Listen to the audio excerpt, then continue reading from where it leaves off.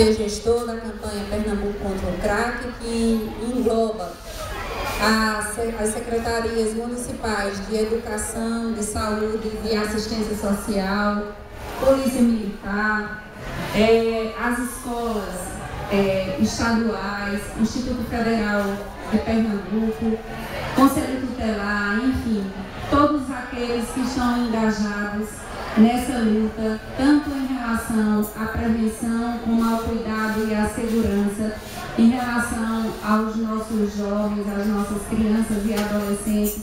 para que não enveredem nesse caminho das drogas e para, para aqueles que estão vivenciando essa situação tão difícil, uma forma de resgatar essa nossa juventude desse, da luta contra as drogas. Então, a gente fica muito feliz desse evento estar ocorrendo, será durante todo o dia e a comunidade estudantil visitará os estandes,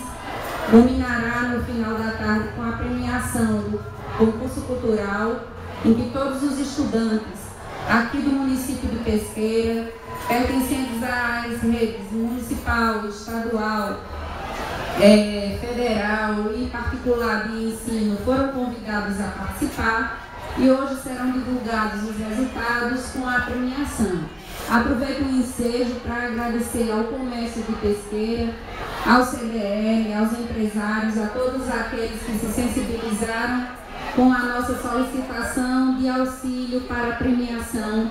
daqueles que ganharam o concurso cultural. Vou passar a palavra para os demais integrantes e muito obrigada. Obrigado, doutor André, pelas suas palavras.